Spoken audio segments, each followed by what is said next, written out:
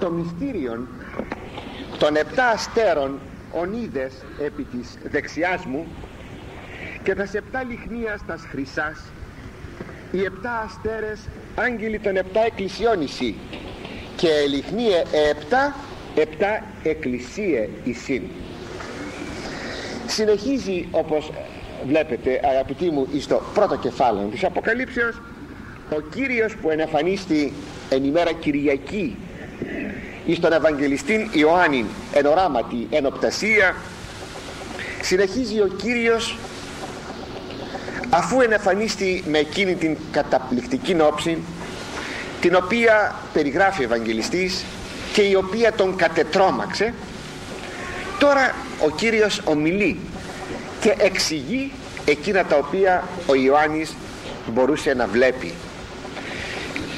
Και του λέγει αυτός ο ίδιος ο Κύριος προβαίνει στην ερμηνεία του λέγει τι ακριβώς σημαίνουν οι εικόνες τις οποίες είδε ο Ιωάννης. Όπως είδατε εδώ θα χρησιμοποιηθούν μερικές εικόνες οι οποίες θα ερμηνευθούν από τον ίδιο τον Κύριον και θα χρησιμοποιηθούν ως υλικών προφητικής ρίσεως αποκαλούνται οι εικόνες αυτές αστέρες λιχνίες και λοιπά ως μυστήριον. Και συνεπώς αφού από τον ίδιο τον Κύριον θεωρούνται και αποκαλούνται και χαρακτηρίζονται μυστήριον τότε θα ήταν ανάγκη θα έχριζον αποκαλύψεως.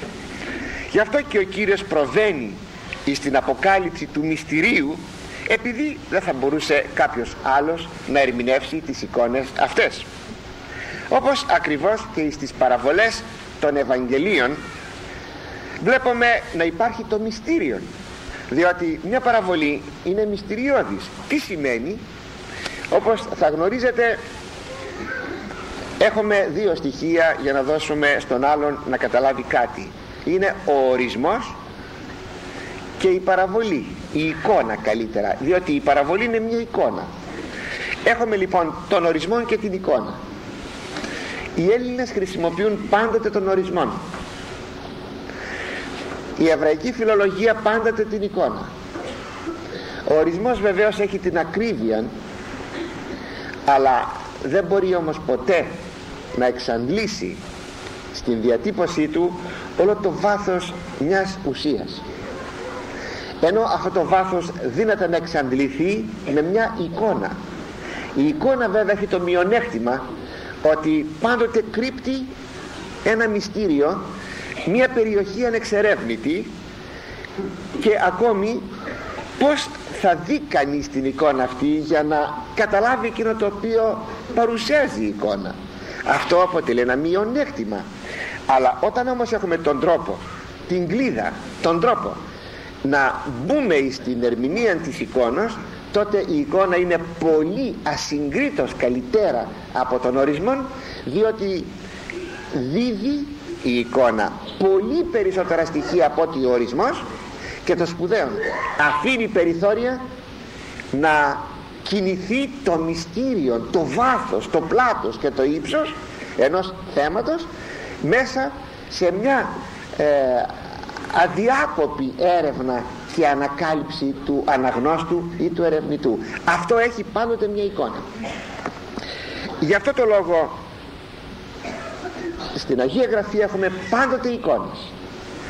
Πουθενά δεν θα βρείτε ορισμόν για την ακρίβεια αν κάποιος θα ήθελε να με διαψεύσει αυτή τη στιγμή θα μου πείτε ότι υπάρχει ένας ορισμός στην προς Εβραίους επιστολή πίστης εστίν ελπιζομένων υπόσταση πραγμάτων έλεγχο σου βλεπομένων κτλ. Δεν είναι ορισμός. Δεν είναι ορισμός. Απλώς είναι μερικά στοιχεία που αναφέρονται στο θέμα της πίστεως αλλά ο ορισμός υποτίθεται ότι εξαντλεί το περιεχόμενο. Εδώ στην πίστη δεν εξαντλείται με εκείνα που γράφει ο Απόστολος Παύλος. Συνεπώς δεν είναι ορισμός. Αλλά όταν ο Κύριος ομιλεί με παραβολές στα Ευαγγέλια αυτές αποτελούν μυστήριο. Και ο ίδιος μάλιστα είπε όταν κάποτε τον ερώτησαν οι μαθητές εξήγησέ μας αυτό το οποίο είπες απήντησε. Σε εσάς δόθηκε να εξηγηθούν τα μυστήρια της Βασιλείας του Θεού. Στους απ' έξω με παραβολές. Που δείχνει ότι η παραβολή διασαφίζει η εικόνα. Η εικόνα διασαφίζει και ταυτοχρόνως συσκοτίζει. Διαμέν των πιστών γίνεται διασάφησης. Δια των άπιστων γίνεται συσκότησης. Αυτό είναι ένα πολύ χρήσιμο στοιχείο στα χέρια του Θεού. Για τους ανθρώπους που είναι δύο κατηγορίες οι άνθρωποι. Πάντως επειδή ακριβώς είχαν υπόψη οι μαθητές την δυσκολία του μυστηρίου μιας εικόνος μιας παραβολής γι' αυτό βλέπουμε να λέγουν φράσον ημίν Κύριε την παραβολήν εξήγησέ μας την παραβολήν. Εν τούτης ο Κύριος δεν ερμήνευσε όλες τις παραβολές που υπάρχουν μέσα στο βιβλίο ή στα τέσσερα Ευαγγέλια. Ερμήνευσε μόνο δύο. Την παραβολή του σπορέως και την παραβολή των ζυζανίων αλλά με τον τρόπο αυτόν που ερμήνευσε αυτές τις δύο παραβολές έδωσε το κλειδί της ερμηνείας. Έδωσε την κλίδα της ερμηνείας. Αυτό είναι πάρα πολύ πολύτιμο και χρήσιμο. Κατά παρόμοιον τρόπον και εδώ όταν θα πει το μυστήριο των επτά αστέρων είναι οι επτά επίσκοποι των επτά εκκλησιών και οι επτά λιχνίες είναι οι επτά εκκλησίες της Μικράς Ασίας έτσι ερμηνεύοντας ο Κύριος αυτό το σημείο δεν εξηγεί όλα τα άλλα της Αποκαλύψεως δίδει όμως την κλίδα να μπορεί να ερμηνεύσει ο αναγνώστης εμπροκειμένο ο Ιωάννης που βλέπει τα οράματα και εν συνεχεία πας αναγνώστης μέσα στην Εκκλησία του Χριστού μέσα στους αιώνας. Έτσι λοιπόν αγαπητοί μου ο Κύριος όπως το αντιλαμβάνεστε δίδει αυτήν την κλίδα. Αλλά ακόμη και την κλίδα της ερμηνείας εάν κρατούμε βλέπετε πως επιμένω στο σημείο αυτό. Διότι παρακάτω είναι ένα ολόκληρο βιβλίο με πλεισμονή εικόνων. Πως θα τα εξηγήσουμε αυτά; Πως θα εξηγηθούν; Κι αν ακόμη κρατούσαμε το κλειδί της ερμηνείας δεν είναι αρκετό εάν ο ερμηνευτής αναγνώστης δεν έχει πνεύμα Θεού. Μένει όχι μόνο το βιβλίο της Αποκαλύψεως αλλά μένει κάθε λόγος του Κυρίου σφραγισμένος με σφραγίδες επτά. Οι επτά λοιπόν λιχνίες κατά την ερμηνεία που κάνει ο Κύριος είναι οι επτά εκκλησίες της Μικράς Ασίας. Όταν προηγουμένως είπε γράψον στις εκκλησίες της Εφέσου Σμύρνης, Περγάμου κλπ κλπ ώστε αυτά, αυτές είναι οι λιχνίες. Είναι χρυσές. Όπως και η επτάφωτος λιχνία της Παλαιάς Διαθήκης και δείχνει εκεί μεν στην Παλαιά Διαθήκη των περιούσιων λαών. Εδώ δε στην Γενή Διαθήκη των νέων Ισραήλ της Χάριτος που είναι οι χριστιανοί. Οι επτά αστέρες είναι οι επτά άγγελοι.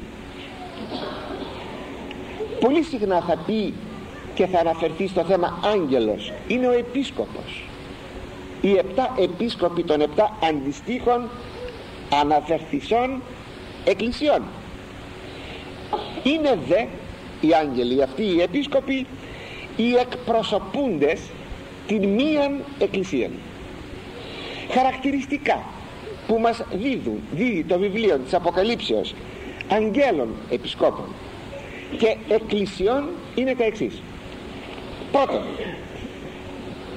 ο Κύριος περιπατεί μεταξύ των λιχνιών εκκλησιών του.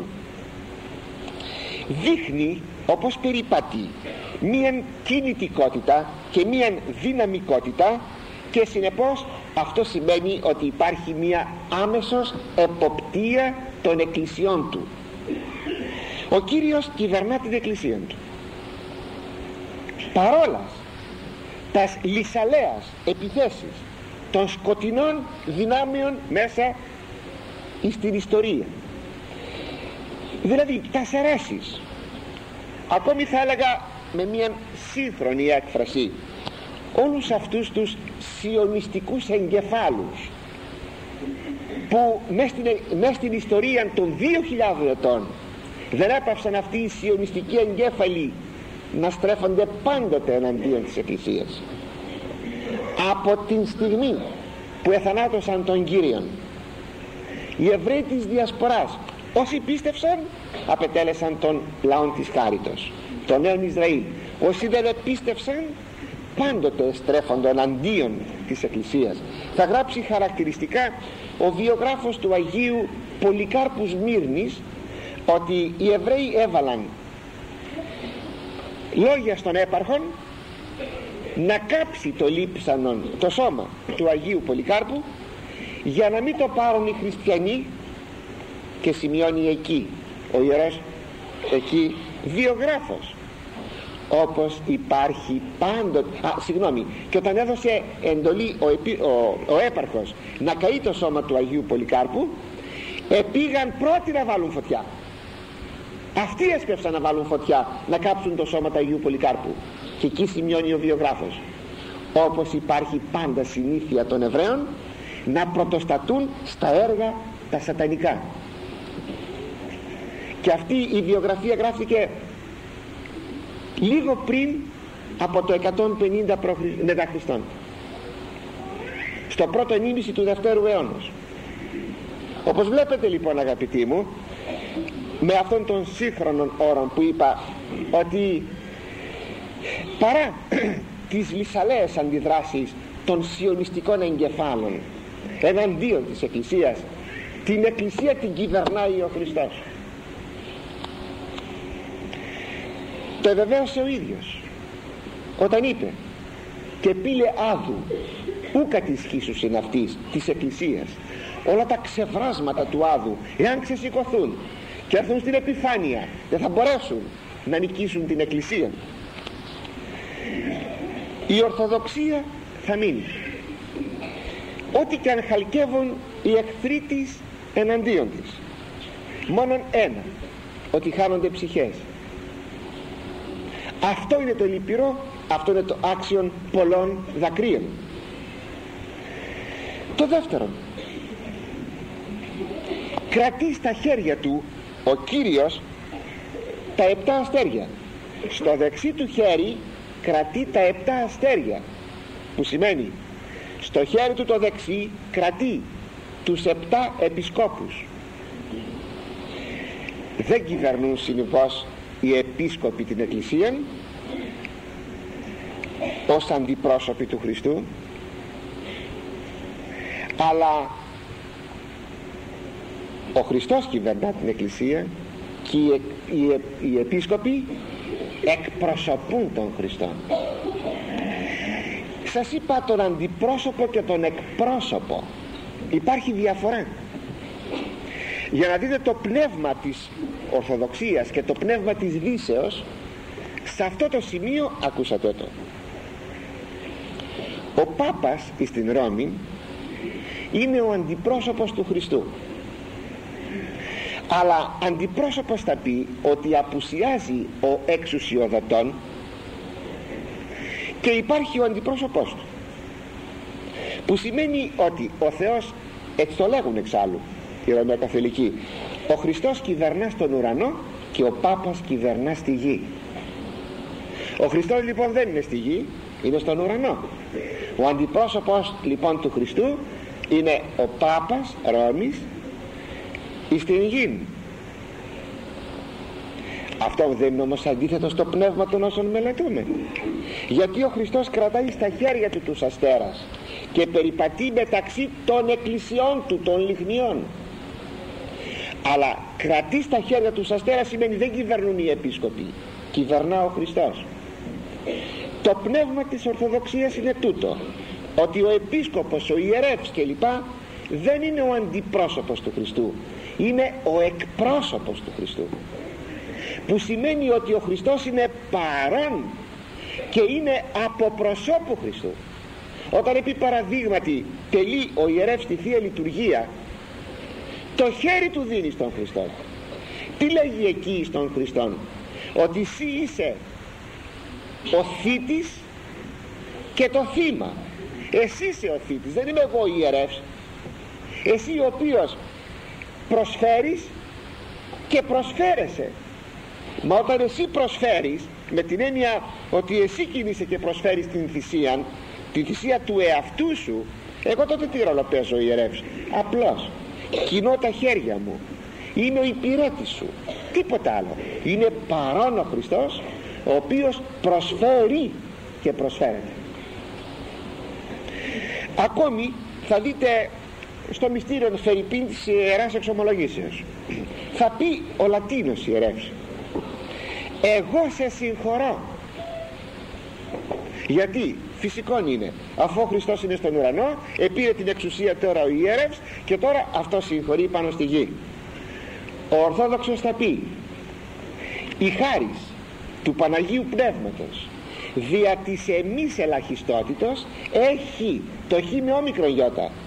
Ήθε να σε έχει συγχωρημένον και λελιμένον εγώ άκουσα την εξομολόγησή σου εγώ δεν κάνω τίποτα εγώ απλώς άκουσα δίνω την ευχή.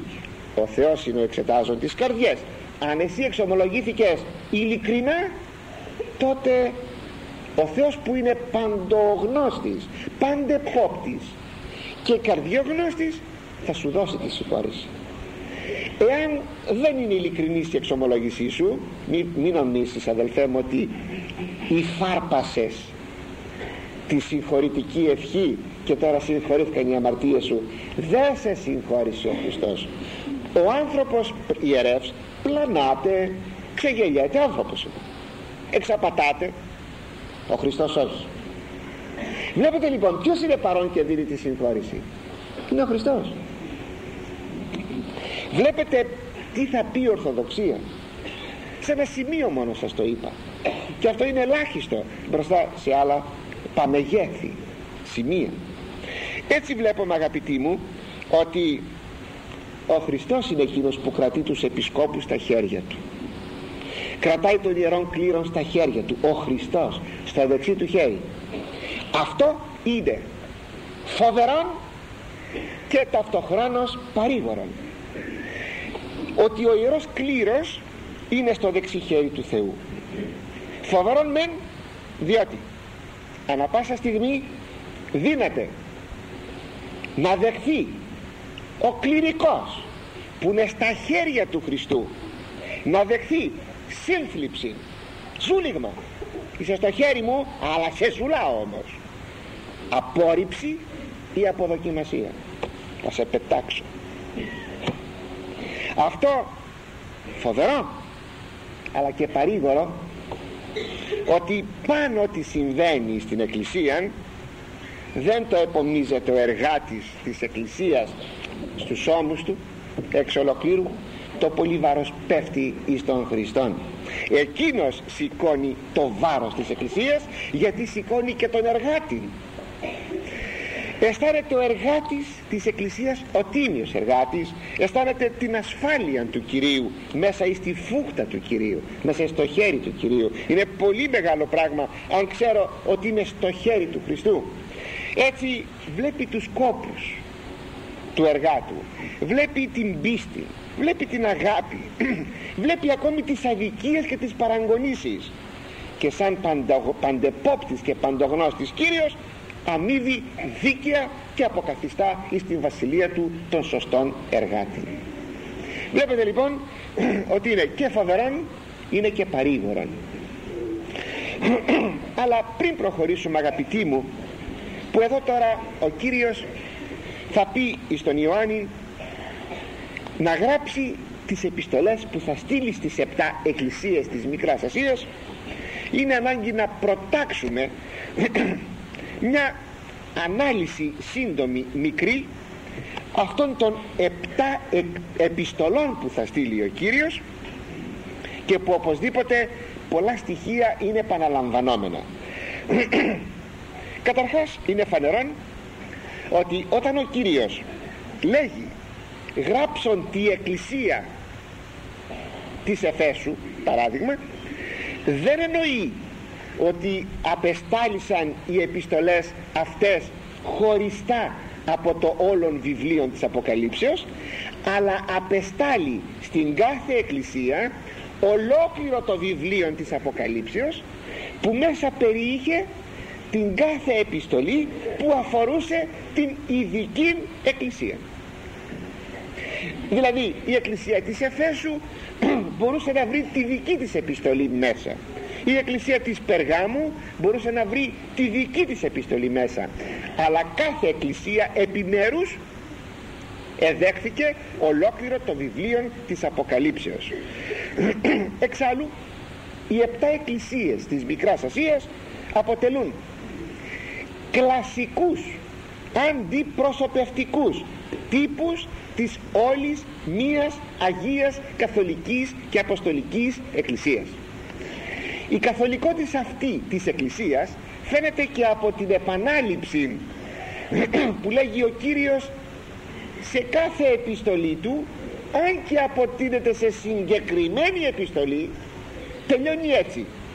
Ο έχων ους αυτός που έχει αυτή ακουσάτο ας ακούσει τι το πνεύμα λέγει τες εκκλησίες τι λέγει το πνεύμα του Άγιον στις εκκλησίες; Μα αφού αποτείνεται προς την κάθε μια. Πως λοιπόν σε, ε, σε κάθε επιστολή έχει το τες εκκλησίες που δείχνει ακριβώς αγαπητοί μου ότι όλες οι επιστολές έχουν τον συγκεκριμένο τους χαρακτήρα αλλά ταυτοχρόνως αποτείνονται προς την μία εκκλησία του Χριστού. Καταρχάς πρέπει να σας πω ότι κάθε επιστολή έχει εντελώς συγκεκριμένη ιστορική βάση. Όταν ομιλεί περί του επισκόπου Αντίπα θα δούμε παρακάτω ομιλεί για συγκεκριμένη ιστορική πραγματικότητα της Εκκλησίας της Περγάμου που είναι ο επίσκοπός της ο Αντίπας. Συγκεκριμένο ιστορικό πρόσωπο με το όνομα Αντίπας. Ή όταν αναφέρεται στην επιστολή προς Εφεσίους στο φαινόμενο των Νικολαϊτών. Αυτοί οι αιρετικοί που είχαν ενσκύψει στην εκκλησία της Εφέσου αυτό είναι εντελώς συγκεκριμένο πράγμα ιστορικός κατοχυρωμένο. Ώστε βλέπουμε ότι η προφητεία εξυπηρετεί δύο τουλάχιστον σκοπούς. Την παρούσα εννοείται την τότε ιστορική κατάσταση των συγκεκριμένων εκκλησιών αλλά και την μέλουσα κατάσταση της όλης εκκλησίας της μιας εκκλησίας. Και συνεπώς οι επτά επιστολές προς τις επτά εκκλησίες της Μικράς Ασίας αποτελούν επτά πτύχες της μιας Αγίας Καθολικής Εκκλησίας που αφορούσαν τόσο την, τις τότε επτά εκκλησίες όσο και σήμερα και σε κάθε εποχή μέχρι το τέλος της ιστορίας την εκκλησία. Άρα ό,τι θα αναφερθεί στις επτά εκκλησίες χωριστά στην καθεμιά έχει την ιστορική της αποδοχή και ταυτοχρόνως αναφέρεται και σε κάθε σημείο της εκκλησίας σε κάθε εποχή. Και στην εποχή μας συνεπώς γι' αυτό το λόγο σας είπα ότι οι επιστολές αυτές αποτελούν μια αληθινά κλασική αντιπροσωπευτική μορφή της Εκκλησίας. Και τούτο διότι πάντα θα υπάρχουν στην Εκκλησία η πίστης, ο ζήλος, η ραθυμία, η υποτίμηση, τα σκάνδαλα, η διωγμή, οι διαστροφές της πίστεας και της ηθικής αλλά και εν γέννη θα υπάρχουν πάντα μέσα στην Εκκλησία τα φωτεινά και τα σκοτεινά πρόσωπα και πράγματα. Και συνεπώς αφού εκτίθενται στις επτά αυτές επίστολες αποτελούν πραγματικότητες της Εκκλησίας. Οι επιστολές είναι συντεταγμένες στο αυτό σχήμα και οι επτά και στο αυτό ύφος. Τις διακρίνει έξαρσης μία ρωμαλαιότης γλώσσης αλλά και του ύφους αλλά και ταυτόχρονος σε συνδυασμό με μια αφάνταστη απλότητα και λιτότητα. Έχουν δε μεταξύ τους οι επτά επίστολες κοινά σημεία. Τα κοινά αυτά, τα κοινά αυτά σημεία είναι οκτώ ίσως και περισσότερα. Πρώτα πρώτα έχουν κοινή προσφώνηση. Και οι επτά επιστολές. Το αγγέλο της Εκκλησίας της Εφέσου ας πούμε το αγγέλον, αγγέλο της Εκκλησίας τάδε γράψον. Αυτό είναι μια στερεότυπος επαναλαμβανομένη προσφώνησης κοινή και στις επτά επιστολές. Δεύτερον υπάρχει κοινή εισαγωγή τάδε λέγει ο και τα λοιπά. Ο κρατών τους επτά αστέρας ο έχοντας κλείς του παραδείσου του άδου, του θανάτου. Συνεπώς τάδε λέγει. Αυτό θυμίζει εισαγωγή προφητιών Παλαιάς Διαθήκης. Αυτό το τάδε λέγει αναφέρεται εις τον Χριστόν. Γράψε ότι τάδε λέγει αυτός που σου λέει τώρα να γράψεις. Συνεπώς ο Χριστός βλέπετε εδώ αυτήν την έκφραση. Εκεί στην Παλαιά Διαθήκη τάδε λέγει Κύριος. Τάδε, τα εξής θα πει τάδε τα εξής λέγει ο Κύριος. Εδώ τι; Τα εξής λέγει αυτός που σου υπαγορεύει τώρα να γράψεις την επιστολή. Ίδιος τύπος. Τάδε λέγει. Και εμφανίζεται με χαρακτηριστικά αυτός που υπαγορεύει στον Ιωάννη να γράψει επιστολές παρμένα εκ του προημίου 4 έως 6 χωρία αλλά και εκ, του, εκ της εισαγωγικής οπτασίας που είναι από τους στίχους 8 έως 20 όπως επί παραδείγματι ο Μάρτης ο πιστός τα δε λέγει ο Μάρτης ο πιστός ο πρωτότοκος των νεκρών ο άρχον των βασιλέων ή ακόμη τα δε λέγει αυτός που είναι το α και το ω είδα σου τα, ε, ε, το α και το ω η αρχή και το τέλος και το καθεξής. Τρίτον είδα σου τα έργα είναι μια στερεότυπος φράσης μέσα στις 7 επιστολές. Τι φανερώνει τον παντεπόπτηρη Χριστόν. Είδα θα πει γνωρίζω. Ο μικρογιώτα ψηλή περισπομένη. Γνωρίζω είδα. Γνωρίζω τα έργα σου που σημαίνει ότι γνωρίζει τα πάντα. Και άλλοτε μεν ο Χριστός επενεί άλλοτε δε επιπλήττει. Από τις 7 επιστολές η μία επιστολή δεν έχει κανέναν έπαινον παρά μόνο επίπληξη. Μια άλλη επιστολή δεν έχει καμία επίπληξη αλλά έχει μόνο έπαινο. Και οι άλλες πέντε επιστολές αναμίξ.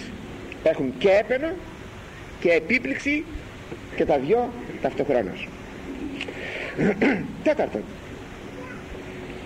Στερεότυπος φράσης. Ο έχων ους ακουσάτο αυτός που έχει αυτή ας ακούσει. Εδώ εφιστάται η προσοχή των παραληπτών αναγνωστών ακροατών του βιβλίου της Αποκαλύψεως. Πέμπτον συχνά συναντάται η φράση το νικόντι σε αυτόν που θα νικήσει δίδονται υποσχέσεις προς τους πιστούς αλλά και τους γενναίους αγωνιστάς. Έκτον εμφανίζεται ο Χριστός ως νικητής του κόσμου γιατί έρχεται ταχύ έρχεται γρήγορα. Έβδομον εμφανίζεται το κρίσιμο της θέσεως όλων των μνημονευομένων, μνημονευομένων εκκλησιών. Όταν λέγει είδε μη αν δεν μ' ακούσεις λέει ο Χριστός έρχομαι σιταχή έρχομαι γρήγορα και κινήσω την λιχνία σου εκ του τόπου αυτής. Θα σε να πω τη λέξη αυτή που τη λέτε θα σε ταρακουνήσω. Θα σε βγάλω από τη θέση σου. Συνεπώς ανα πάσα στιγμή εμφανίζεται κρίσιμος η θέση της κάθε εκκλησίας.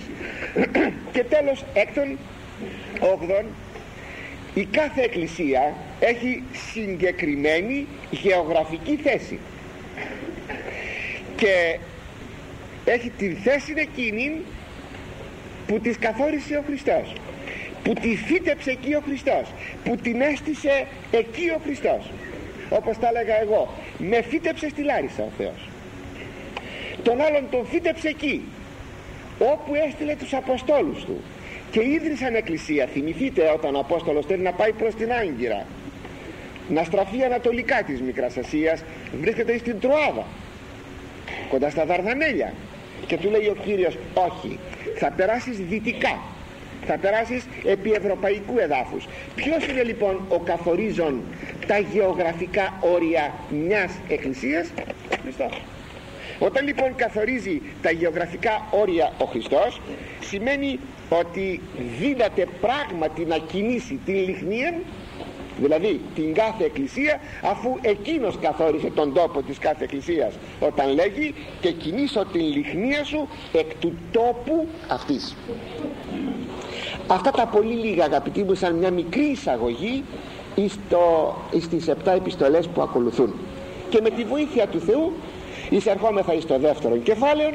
Μέχρι τώρα κάναμε οκτώ ομιλίες αναφερόμενες στο πρώτο κεφάλαιο πολύ σύντομα πολύ γρήγορα τρέχαμε όπως το βλέπετε τρέχουμε και εισερχόμεθα εις το δεύτερο κεφάλαιο σύνθεο που αναφέρεται μαζί με το τρίτο στις επτά επιστολές που στέλνει ο Κύριος.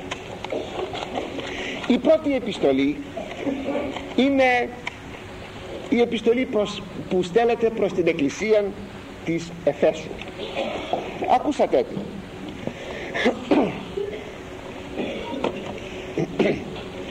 το αγγέλο της Εφέσου εκκλησίας γράψον.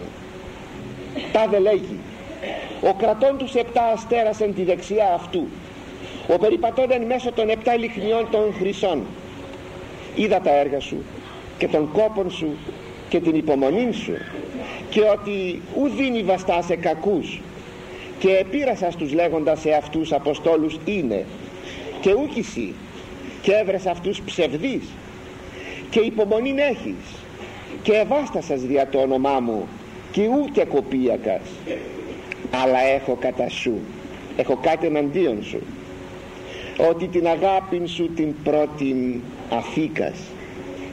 Μνημόνευεουν πόθεν πέπτοκας και μετανόησον και τα πρώτα έργα ποίησον ιδεμή έρχομαι σι ταχύς και κινήσω την λιχνία σου εκ του τόπου αυτής εάν μη μετανοήσεις.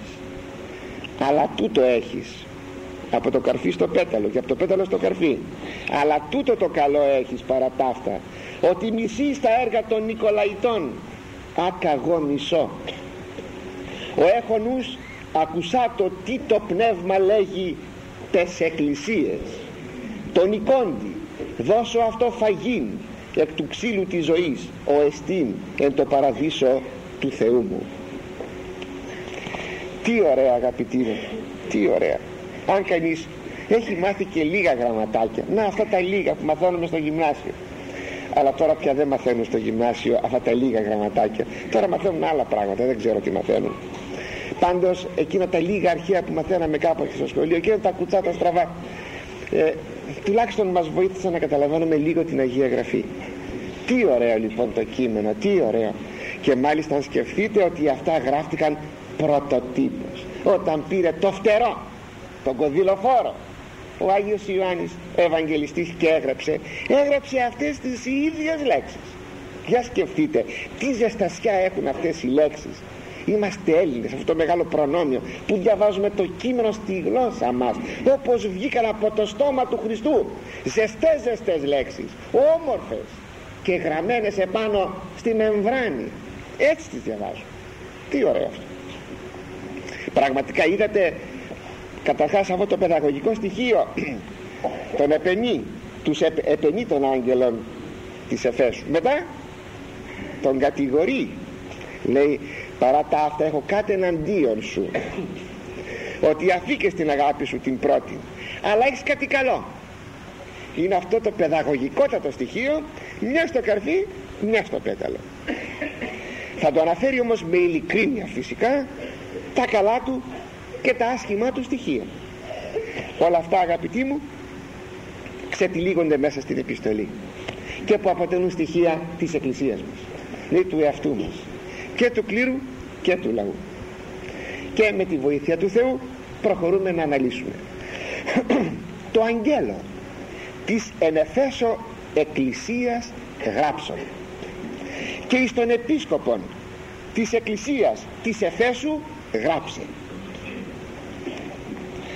Ως πρώτη εκ των επτά εκκλησίων εκλέγεται η Έφεσος η οποία ήτο την εποχή εκείνη κέντρον και πρωτεύουσα της Ανθιπατικής Ασίας. Έτσι έλεγε η Μικρά Ασία Ανθιπατική Ασία εκεί ήτο στην Έφεσο ναός της Εφεσίου Αρτέμιδος θεάς της γονιμότητος και ισοτήμου με την Δήμητρα της υπηρωτικής Ελλάδος ο ναός της θεωρείτο σαν ένα από τα επτά θαύματα του κόσμου. Ήταν τόσο ωραίος ο ναός αυτός τον οποίον έκαψε για να αποκτήσει δόξα από την ανάποδη ο Ηρόστρατος ας είναι. Και συνεκέντρωνε η Έφεσος και ο ναός της Εφεσίου. Αρτέμιδος δεν ήταν αντίστοιχη όπως σας είπα με τη Δήμητρα. Ήταν όχι αντίστοιχη με την Αρτέμιδα της, τη δική μας τη θεά του κυνηγίου αλλά τη θεά της γονιμότητας. Έχει πολύ σημασία αυτό που σας λέγω. Και γι' αυτό σας κάνω αυτή την ιστορική τοποθέτηση πλαισίωση για να αντιληφθούμε σε αυτή την πόλη τι δημιουργήθηκε. Ε, συνεκέντρωνε λοιπόν και η πόλη και ο ναός όλους τους πληθυσμούς της Μικράς Ασίας. Θα γράψει μάλιστα για τη λατρεία ε, της Αρτέμιδος θα γράψει μάλιστα Απόστολος Παύλος που θα έχει μείνει κάπου τρία χρόνια και πιο πολύ στην Έφεσο θα γράψει ότι έμεινε στην Έφεσο ώστε να ακούσει το κήρυγμά του πάσα η Ασία πως άκουσε το κήρυγμά του όλη η Ασία μένοντας στην Έφεσο; Ήρχοντο στην πρωτεύουσα όχι μόνο για ψώνια και για δουλειές και για υποθέσεις αλλά και δια τη λατρεία της Αρτέμιδος και έβρισκαν τον Παύλο ο οποίος ομίλει καθημερινά σε μια σχολή κάποιου τυράννου τύραννος στο όνομά του δηλαδή και εκεί πέρασε από τη σχολή εκείνη τρία χρόνια επέρασε όλη η Ασία όπως γράφει ο Απόστολος Παύλος. Στην πόλη αυτή ακόμη είχε το κέντρο της δράσεώς του και των ιεραποστολικών του εξορμήσεων και αυτός ακόμη ο Ευαγγελιστής Ιωάννης και ο Απόστολος Παύλος που σας ανέφερα. Πρώτος επίσκοπος της πόλεως Εφέσου της μεγάλης αυτής πόλεως υπήρξε ο Τιμόθεος προς τον οποίο έστειλε ο Απόστολος δύο επιστολές. Είναι όμως άγνωστον εάν τότε που στέλνεται η επιστολή αυτή του Κυρίου που είναι ενσωματωμένη στο βιβλίο της Αποκαλύψεως εάν ζούσε τότε ο Τιμόθεος ή ήτο ο αναφερόμενος αλλά και επενούμενος υπό του Αγίου Ιγνατίου ονίσιμος δεν ξέρω. Πάντως είτε ονίσιμος είναι που επενείται από τον Άγιο Ιγνάτιο είτε ο, ο Τιμόθεος είναι ο οποίος επενείται από τον Απόστολο Παύλο και είναι Άγιοι αυτοί όλοι είναι Άγιοι του ότι ο Κύριος αποτείνεται προς τον Επίσκοπο της Εφέσου με τα ψεγάδια του. Αυτό σημαίνει αγαπητοί μου κάτι πολύ θάρρος για μας. Ποιο θάρρος; Ότι μην νομίζουμε ότι η, αγιο, ότι η αγιότητα σημαίνει ιδεατός άνθρωπος. Ιδεατός άνθρωπος δεν υπάρχει. Απλώς υπάρχει αγωνιζόμενος άνθρωπος. Και η αγιότητα είναι μέσα στο χώρο της αγωνιστικότητος και όχι της ιδεατότητος ας το πάρουμε είδηση και το λέγω για να μην νομίσουμε ότι η αγιότητα για την οποία, από την οποία καλούμεθα ότι είναι τόσο μακριά μας που είναι αδύνατον ποτέ να την εγγύσουμε. Όχι. Είναι πλάνη του διαβόλου δουλειά είναι αυτή. Να μας πει ότι η αγιότης είναι ιδεατή. Και εσύ δεν φτάνεις. Για να μας φάει ο διάβολος. Όχι αγαπητοί μου η, η αγιώτης είναι αγωνιζομένη. Ακόμη στην πόλη της Εφέσου υπήρχαν ενεφανίστησαν πολύ ενωρίς ήδη ζώντος του Αποστόλου Παύλου οι Ιουδαίζοντες και οι γνωστικίζοντες ερετικοί όταν ο Απόστολος Παύλος εκάλεσε τους πρεσβυτέρους της Εφέσου εις την Μίλητον επειδή ευιάζετο δεν είχε καιρό και τους κάλεσε στην Μίλητο εκείνο τον περιμένουν ερχόμενος από την Ελλάδα και κατευθυνόμενος προς Ιερουσαλήμ για να προλάβει την ημέρα της Πεντηκοστής στα Ιερουσάλημα εκεί τους ομίλησε και τους είπε τα εξής. Είναι στις πράξεις 20 29-30 αυτό που θα σας διαβάσω. Εγώ γαρίδα τούτο λέει ο Απόστολος. Εγώ γιατί εγώ ξέρω τούτο ότι εισελεύσονται μετά την άφηξή μου. Που ήρθα εδώ και θα φύγω. Λύκοι βαρύς. Εις ημάς σε εσάς μη φιδόμενοι του ποιμνίου. Δεν θα λυπηθούν το πίμνιο θα το κατασπαράξουν αυτοί οι λύκοι βαρύς. Και εξ ημών αυτών αναστήσονται άνδρες λαλούντες διεστραμμένα του αποσπάν τους μαθητάς ο πίσω αυτών. Και από εσάς τους ιδίους θα βγουν σε εσάς τους κληρικούς. Θα βγουν άνδρες οι οποίοι θα μιλάνε διεστραμμένα πράγματα. Θα είναι αιρετικοί με σκοπό να αποσπούν τους μαθητάς από πίσω τους να τους κάνουν οπαδούς και να τους ξεκολούν από την εκκλησία. Θα γράψει δες στην πρώτη προς Τιμόθεον επιστολή του που ο Τιμόθεος είναι επίσκοπος της Εφέσου καθώς παρεκάλεσά σε προς μήνε εν Εφέσο όπως σε παρεκάλεσα να μείνεις στην Έφεσο ή να παραγγείλεις τη σύ να παραγγείλεις σε μερικούς μη ετεροδιδασκαλήν. Να μην λέγουν ξένες διδασκαλίες άλλες διδασκαλίες. Μη δε προσέχει μύθις και γενεαλογίες απεράντης ούτε να στείλουν αυτή προσοχής σε παραμύθια και σε απέραντες γενεαλογίες. Τι είναι αυτή η ετεροδιδασκαλία και η μύθη και οι απέραντες γενεαλογίες; Κυρίως αναφέρονται εις τους γνωστικίζοντας. Συγκεκριμένα οι απέραντες γενεαλογίες είναι οι εξής. Έλεγαν οι γνωστικοί ότι μεταξύ του Θεού του αγαθού Θεού και του κόσμου υπάρχουν 30 θεότητες. Η τελευταία θεότης που επικοινωνεί με την 29η αλλά επικοινωνεί με τη γη είναι ο Ιησούς Χριστός. Η τελευταία θεότης και λέγει εδώ τώρα αυτές τις απέραντες γενεαλογίες. Δηλαδή ο ένας Θεός γεννάει τον άλλον ο ένας Θεός γεννάει τον άλλον και λοιπά τα έλεγαν οι αιρετικοί αυτά οι γνωστικοί οι οποίοι ανακάτευαν χριστιανισμό, Ιουδαϊσμό, φιλοσοφία ε, μυστήρια ε, μυστηρια, μυστηριακών θρησκειών και τα έκαναν όλα ένα χαρμάνι. Και έτσι ο Απόστολος μιλώντας για την κατάσταση εκείνη παίρνουμε μια εικόνα ποια ήταν η Έφεσος. Και τώρα πλαισιώσαμε παρακαλώ από πλευράς και πολιτιστικής αν θέλετε το, το θέμα μας για να δούμε πως θα τοποθετηθεί η επιστολή που στέλνει ο Χριστός στην Εκκλησία των Εφεσίων. Ο Άγιος Ιγνάτιος ακόμη γράφει στην επιστολή του προς Εφεσίους και επισημαίνει αυτούς τους γνωστικίζοντες αιρετικούς τους οποίους αποκαλεί δοκίτας. Ακόμη η επιστολή που στέλνει ο Κύριος έχει μία επιγραφή. Όπως κάθε επιστολή έχει μία επιγραφή. Η επιγραφή εκφράζει, διατυπώνει, παρουσιάζει τον Αποστολέα και τα χαρακτηριστικά του. Να η επιγραφή της επιστολής. Τάδε λέγει ο κρατών τους επτά αστέρας εν τη δεξιά αυτού ο περιπατών εν μέσω των επτά λιχνιών των χρυσών ποιος είναι ο Αποστολεύς; Αυτός που σου είπε να γράψεις αυτά τάδε λέγει. Αυτός που περιπατεί τα χαρακτηριστικά του τώρα.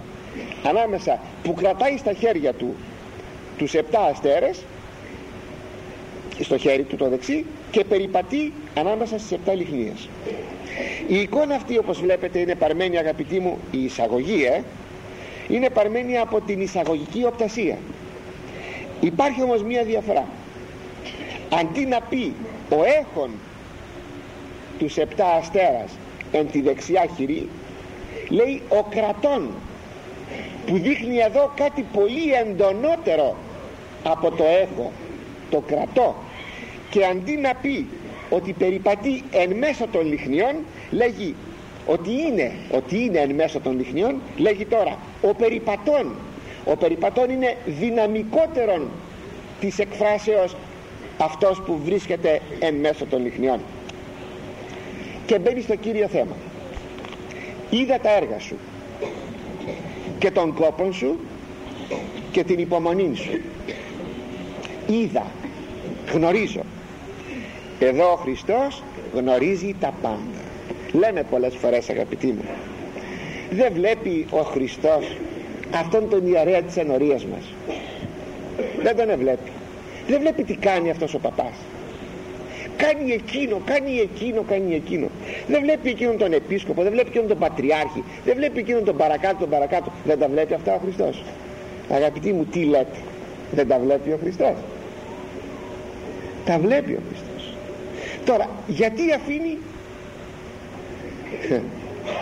Βέβαια εκείνος ξέρει το γιατί. Αλλά κάτι που μπορούμε να ξέρουμε και εμείς είναι το εξής ανάλογα σε ένα λαό είναι και η ιερής του. Θα το ξέρετε. Λέμε ο παπάς της ενορίας μας δεν είναι καλός. Γιατί δηλαδή η ενορία είναι καλή; Ο πληθυσμός της ενορίας είναι καλός; Αυτή έδωσε εξάλλου τον ιερέα. Αυτή έδωσε. Από τα παιδιά της έδωσε τον ιερέα. Ο λαός δίνει τους ιερείς. Προσέξτε ο λαός δίνει τους ιερείς. Και οι ιερείς διαμορφώνουν το λαό συνεπώς τι υπάρχει; Υπάρχει ένας αντικατοπτρισμός λαού και κλήρου. Ανάλογα λοιπόν με τον λαό είναι και οι ιερείς.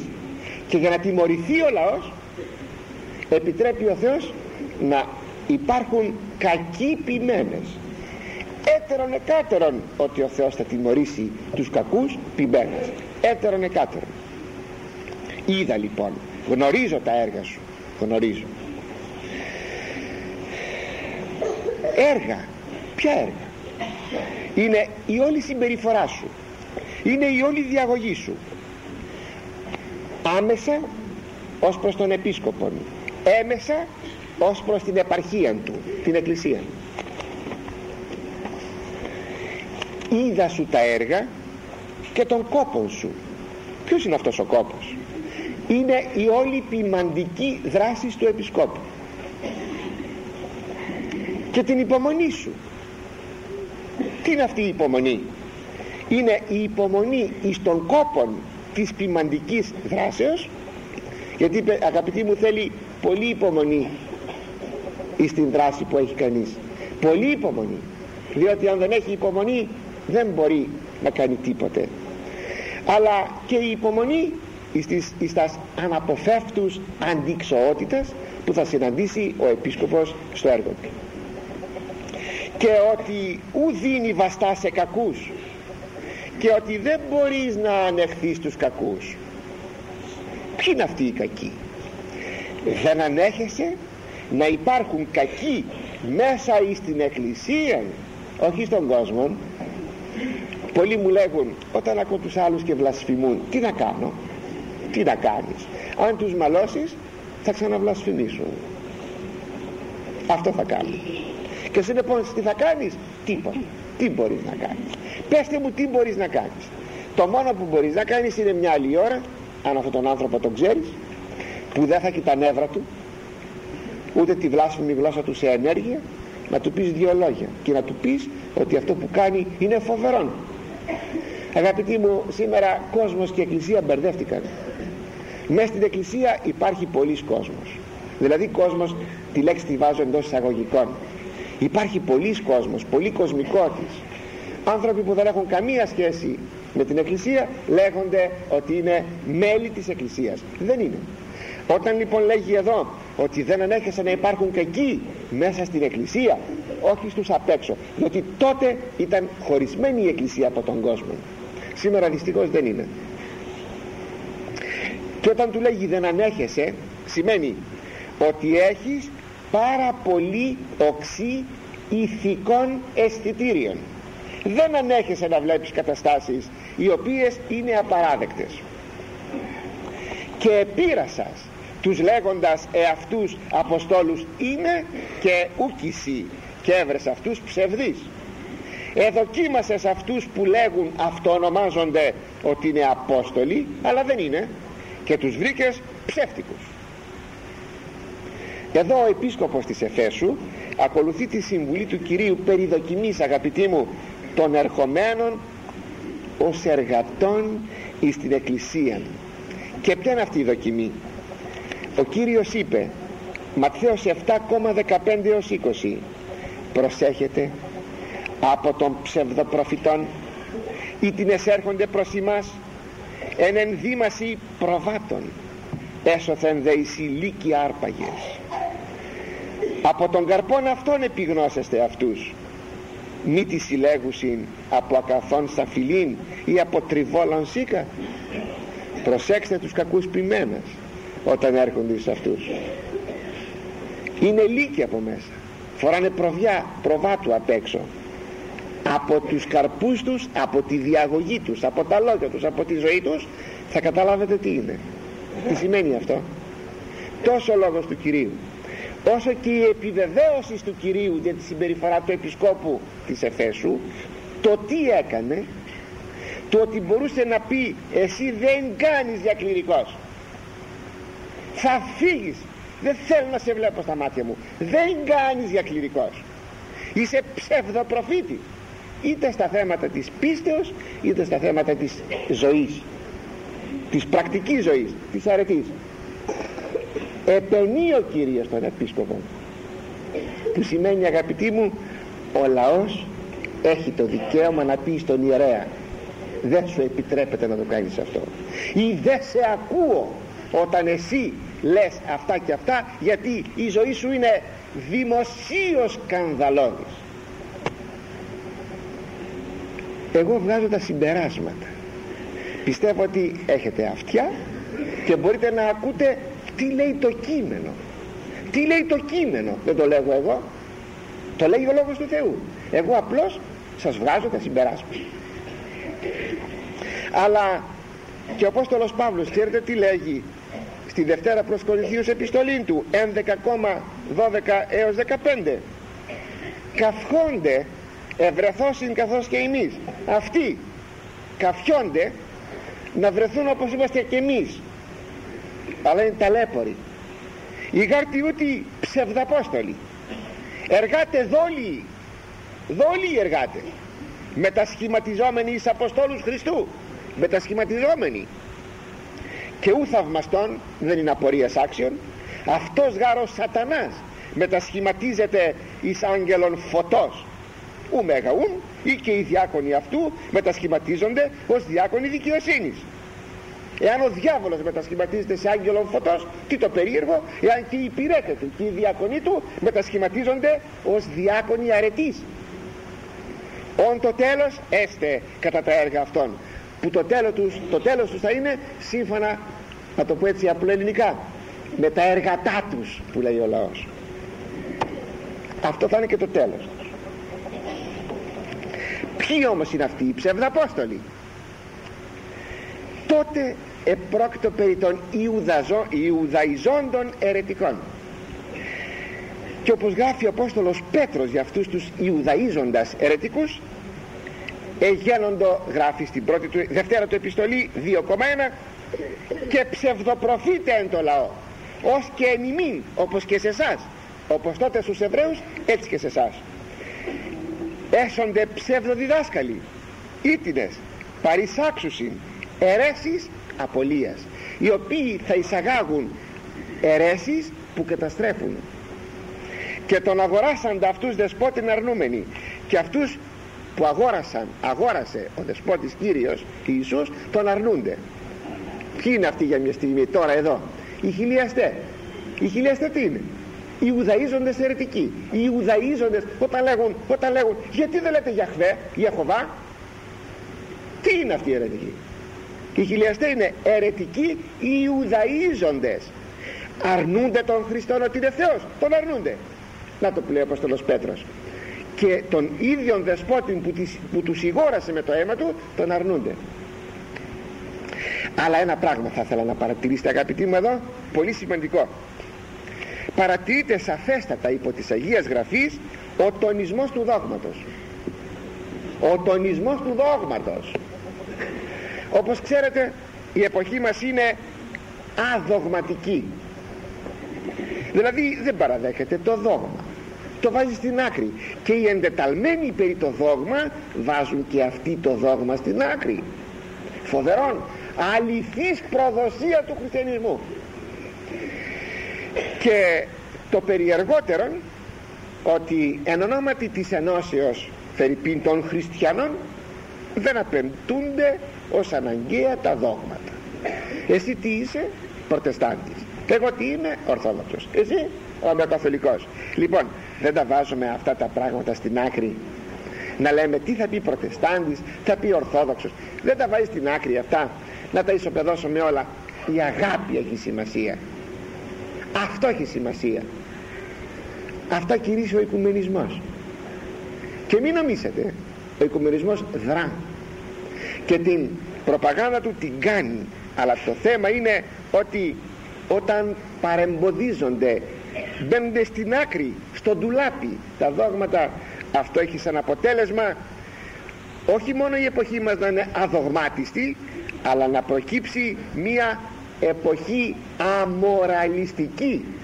Ενώ μιλάμε για την αγάπη να, να προκύψει εποχή αμοραλιστική. Θα πει αμοραλιστική χωρίς ηθική. Και ενθυμίστε προδεκαετίας είχα κάνει τα ίδια θέματα γιατί κρατώ σημειώσεις και σας είχα μιλήσει τότε για τον οικουμενισμό ο οποίος ήταν απάνω στην ακμή του. Και τότε σας είχα πει το ίδιο πράγμα ότι σαν αποτέλεσμα θα έχει μια εποχή αμοραλιστική. Άχρωμη ηθικός. Δηλαδή να μην υπάρχει ηθική. Να την τότε σας τα έλεγα στο 1971 τώρα έχουμε 1980 πέρασε μια δεκαετία. Είδατε πόσο γρήγορα η εποχή μας κατέληξε να είναι πράγματι αμοραλιστική. Άμα πεις στον άλλον παιδί αυτό είναι κακό θα σου πει γιατί είναι κακό; Τι θα πει κακό; Τι θα πει ανήθικο; Τι θα πει άσχημο; Δεν το καταλαβαίνω σου λέει. Να τα αποτελέσματα. Αγαπητοί ένα έχω να σας πω. Δόγμα και ηθική δόγμα και δύο πνευματικός είναι στενά συνδεδεμένα. Ε, όποτε διεσπάστησαν δόγμα και ηθική εσαλεύθη η ισορροπία της αληθούς χριστιανικής ευσεβίας και πνευματικότητας. Αυτό εξάλλου θα φανεί τώρα στην επιστολή λίγο παρακάτω. Θα φανεί ότι κάτι τέτοιο συνέβη. Δηλαδή ερίφθη βάρος στο θέμα εναντίον των αιρετικών και δεν πρόσεξε ο επίσκοπος της Εφέσου κάτι άλλο. Την ουσία της πνευματικής ζωής που είναι με την επωνυμία εδώ αγάπη. Αγάπη και λατρεία προς τον Χριστόν όχι προς τους συνανθρώπους. Αλλά επειδή η ώρα μας έχει τελειώσει αγαπητοί μου την μεν αποκάλυψη θα συνεχίσουμε πρώτα ο Θεός την ερχομένη την ε, Κυριακή μετά τις γιορτές στις 11 Ιανουαρίου τώρα δεν θα κλείσω με το θέμα μας. Δεν τελείωσα. Τώρα δεν θα κλείσω με το θέμα μας με δύο λόγια που θα ήθελα να σας πω για τις επικείμενες γιορτές των Χριστουγέννων. Κάθε χρόνο γιορτάζουμε μια γιορτή. Μια φορά γιορτάζουμε το Πάσχα μια φορά γιορτάζουμε τα Χριστούγεννα αγαπητοί μου ημέρα των εορτών των Χριστουγέννων δεν είναι παρά ένας σταθμός όπως και οι άλλοι οι άλλες γιορτές. Ένας σταθμός ανεφοδιασμού πνευματικού ανεφοδιασμού. Ένας σταθμός αναζωπυρώσεως της πνευματικότητός μας. Γι' αυτό ας προσέξουμε τις ημέρες αυτές τα κοσμικά καμώματα. Προσέξτε. Το κυριότερο από αυτά είναι η χαρτοπεξία. Άνθρωπος που ακούει λόγο Θεού είναι απαράδεκτο να παίξει χαρτιά. Όχι να παίξει να πιάσει στα χέρια του χαρτιά. Έτσι να πιάσει να, να φέρει πίνα έχω την τράπουλα εγώ τώρα εδώ και να πιάσω να πιάσω τα χαρτιά έτσι. Είναι απαράδεκτο. Θα μου πείτε ε, υπερβολικό να μην πιάσω